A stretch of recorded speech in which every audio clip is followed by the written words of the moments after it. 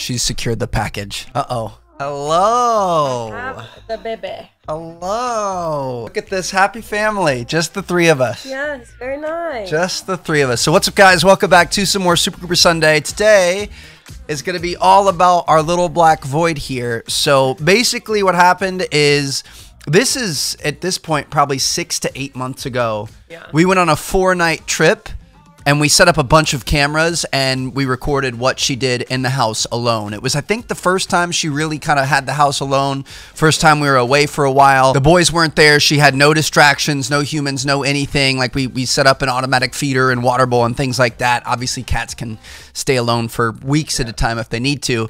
But um, yeah, so it was four nights. Why are you so cranky for the people? Do you want to tell them about your four nights? Because there's a lot of interesting stuff that happened. You guys won't believe everything that happened during these four nights. So let's hop into it. So everything starts pretty normal. We're heading out. She's watching us from the stairs, and uh, Chelsea even tries to, you know, personally say goodbye, and she she bites her. Fine, sweet baby, baby. No, get out. Bella.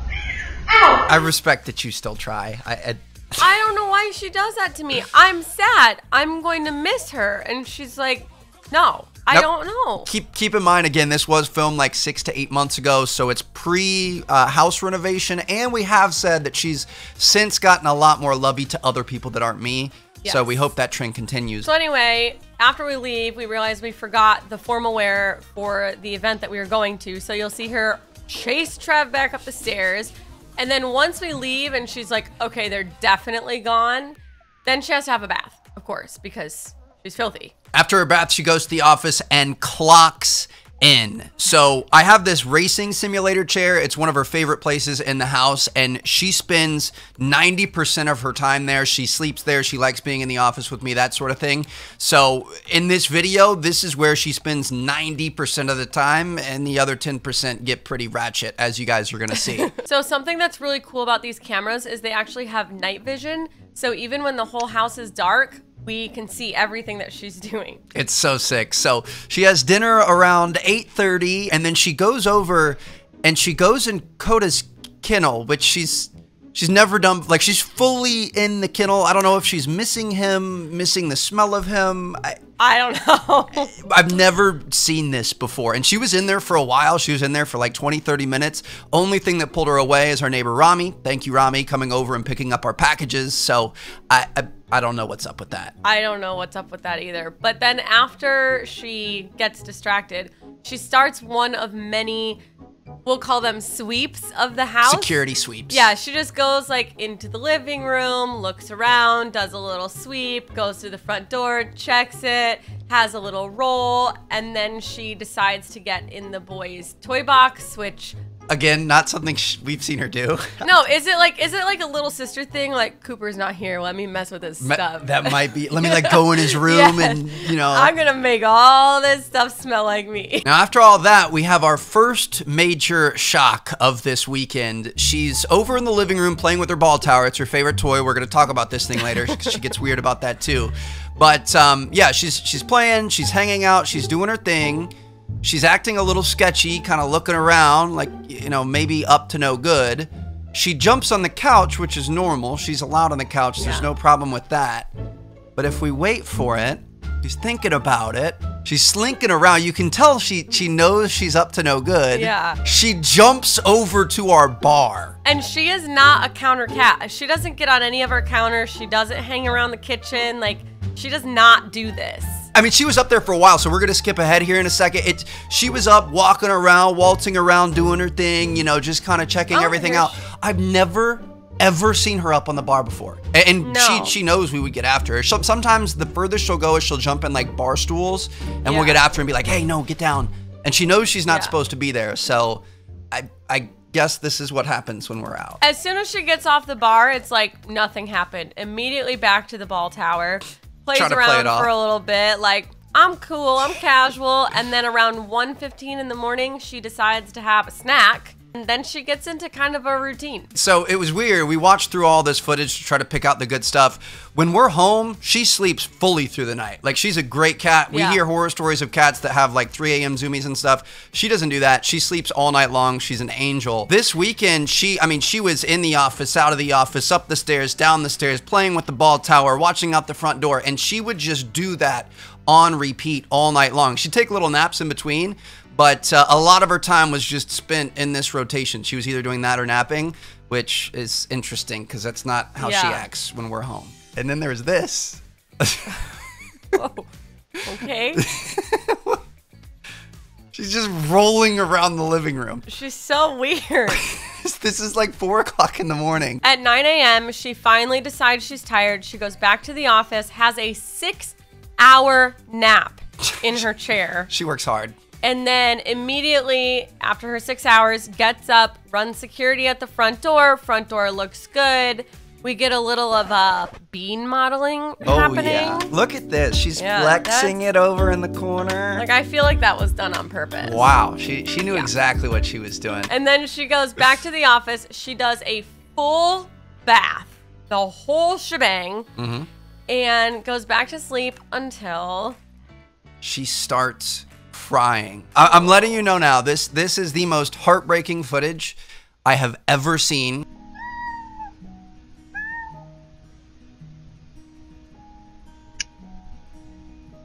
She stands in front of the camera for so long it goes into night vision.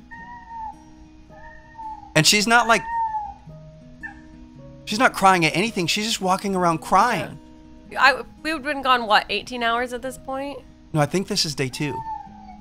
Or maybe, maybe day two and a half. Just absolutely broke my heart. Like seeing that footage was the hardest thing to watch. And Aw. it's just sad because there's that quote that, like, you know, pets are a part of your life, but to your pets, you're their whole life.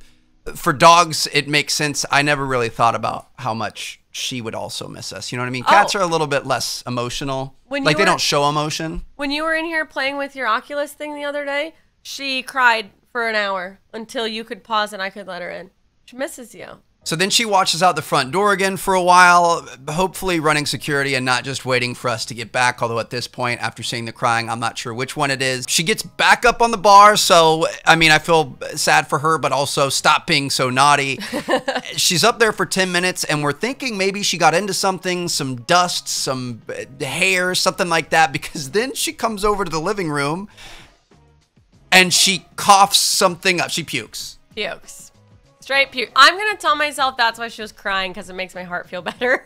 She pukes twice. She pukes Yeah. in two different areas. She's so nonchalant about it. There's it. one on the rug and then one off the rug. Thank you for the. She jumps away from it. Thank you for the 50% accuracy there. But yeah, I, we weren't sure what it is. I, do you remember what it was? It a hair? It wasn't a hairball. Cats No, get hairballs and do like, this all the time. It's not a big deal. She's also a really fast, really big bite eater, so she may have just, you know, taken a huge bite hard. of food or something. She does that. Because there's no food on the bar, and it's all sealed bottles, so I don't Yeah. think she ate something bad. Maybe just got into some old dust or something. I'm not sure. She runs upstairs. She has another bath. There are probably 40 baths that took place. There were probably about 10 a day. Okay, if you puke, you take a bath, as one does. Well, yeah, that's true. And she goes to sleep top of the stairs. She wakes up at 6 a.m., and now this is a real problem in our lives, guys. Look at her shadow on the Look door. at her. she is trying to open the door to the garage, and that is something she does quite frequently to the point where we think we might have to change the handles and we always have to lock the door. So there was one time, it was like two or three o'clock in the morning. We're dead asleep, and the house alarm starts going off. And there's different kinds of alarms. And this one was like, "Hey, an exterior door has been opened." We thought all the doors were locked. We were like, "Okay, some somebody's breaking in. Like, I'm I'm getting ready to go. I'm getting ready to have a fight or whatever." And we end up going downstairs. I let Koda out. I'm like sweeping all the rooms and everything. Nobody there. Can't figure it out. The garage door, which is the one that had opened, I thought they had come in through. We look out in the garage. It's her. It's Bella, just chilling. Yeah. I'm pretty sure she was chilling on like the hood of the Jeep or something like that. She was freaked out too, so at, at least she got a scare. And then the other time, She also, we were at Universal Studios midday, and we get calls from our neighbors that our alarms are going off and the cops are at our house because once again, she let herself in the garage. And just a couple days ago, I heard all of this weird sounds like somebody was trying to get in the house. And I called Trevor down. I was like, I'm really spooked. And he opened the gym door, and the cat was in the gym. Guys, this is a call for help. She's abused. She's trying to get out. She's trying to call the police. She's trying to make a statement. Please listen, listen to her. No, I'm So kidding. I- naughty. she just, I mean, the garages are like these forbidden place. Oh, we should do an episode where we take her out there and let her roam and just see, because it's a her- forbidden place. She's not allowed in there. Yeah. I don't know. We're gonna have to change the doors because I mean, we try to lock them consistently, but obviously, occasionally you forget, and she Honestly, she doesn't. We have three pets, and two of them can open the doors. We should probably just invest in new handles. Also, shout out to Cooper for being the only one not smart enough to figure it out. Hey, listen. looks looks don't come with brains sometimes. So we think she's still tired from last night because today was a lazy day. I mean, we're talking naps, occasional snack, and like three baths in the chair. She was doing nothing. We thought this package delivery was going to be the only highlight of today, and then it happened. the cockroach. I mean, we occasionally will get a cockroach in the house. It's not like it's a common thing, but he comes rolling by our food. Look at this. She gets up. She's like, "Oh, what is that? What is that?" This is exciting. What? I I think he's in the office at this point. Oh, she's hunting. Yeah. She's hunting. Oh gosh. Just for the record, guys, we live in the South. She's she's got it in her. Look at this. Look at this. Look at that reaction time. She's a beast. He was running oh, away at Oh, light speed and she got him. Now, my favorite part about this is that she's so proud. And you know, like you always hear stories of cats like, you know, catching something and then then giving it to their their humans. I think she was running around looking for someone to give it to. She's like parading him It's around. just hanging out of her mouth. She walked around the office, walked around the living room, walked around everything, just kept walking around, showing it off. And then I guess she was still hungry because she ended up going back and That's so gross. getting some food. So yeah, nice, nice job, Bella. Um, we never found the cockroach, so No. can only only assume what happened to him. Sorry, little buddy. She has a post dinner bath and nap, and then she wakes up at about midnight, does another perimeter check, keeping the house safe. Has to question who would have the audacity to puke in her living room. Can't believe it. It was her. and then she goes on to play with the front door rug. And she plays with the front door rug for six and a half hours. Yeah. Like literally until the sun comes up, and she, she even gets stuck in it at one point. I don't know. I I'm grateful that it's something that she can't really destroy. It's pretty tough. It's, it's honestly a pretty crappy front door rug, but she loves it, I guess. So we're we're not gonna get rid of it. I'm not sure what was in the cockroach, but she had unlimited energy at this point. She had a couple meals and a very small nap, but she pretty much zoomed all day until midnight. Like she was just tearing black lightning is what we call it, tearing around the house the entire day. I I don't know what was up with her. It wasn't until about 1.30 in the morning that she found some Zen. Also, that is a Koda tumbleweed that you see there. She eats about an hour after finally calming down, and then she assumes her guard duty at the door, but still the occasional zoom. This was the day of the zooming. Now, with zooming, of course, also comes naughtiness. Um, this is another first, at least that I've seen. Yeah. Into the, the chair, which I, I told you guys, sometimes she'll get in the, the chairs, the bar stools, and things. Yeah. I don't care if she's on the chair, but I think it's gross that their litter box feet are on the table. We don't really want her in the chair because they're like nice leather chairs, and her claws will dig into them sometimes. Yeah. So we try to keep her off of them. But I guess when we're not home, the rules just don't. They don't matter because she knows she's a very, very smart cat. She, She- has never gotten caught getting on any counter, bathroom counter, kitchen counter, nothing. It makes me wonder what other like we didn't have anything pointed over at the kitchen. I wonder if she got up on the kitchen or anything. Maybe if we do this again, we'll have to set up some more camera angles. But She would not dream of doing this when we were home. she comes back to the living room, walks around. Maybe This is her like, oh yeah, nothing, nothing to see here. Yeah, like I whenever she naughty. feels awkward, she has to come play with her ball tower to like balance it out, I guess. Now the thing about this time is she studies the ball tower. I don't know what this is, but we have four hours of footage of her just staring at it and walking around Yeah. it and looking at it. it's her best friend and her arch nemesis. I, I what was she trying to figure out? I'm not sure. She she literally she the sun rose before she ever touched the ball. Like for Yeah. four hours straight, she didn't touch the thing. She just looked at it. At this point, I don't even think she knew where she was or what she was doing. And then she's like, oh, yeah, I gotta patrol the house. So she patrols the house, she gets some breakfast, and then probably one of the biggest Zoom segments I've ever seen.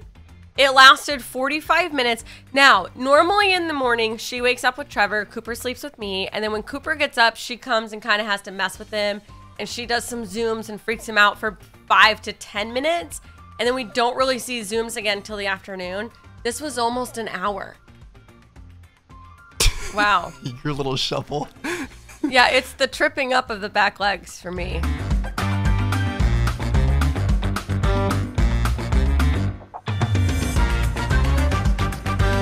After that, she goes back to the office. She takes a two hour nap. She wakes up for this loveliness. Just having a little clean. Literally just wakes up for a bath and then takes another four hour nap. At this point, it's pretty much 7 p.m. and we end up coming home. This us. Oh, Oh. Could it be? my dad? Er Could it be? She's so sweet. She is really sweet. And it was, I mean, for her, it was kind of nice because it was 7 p.m. So the, the dog daycare, we couldn't, they were closed. We couldn't pick up Cooper and Koda till the next morning.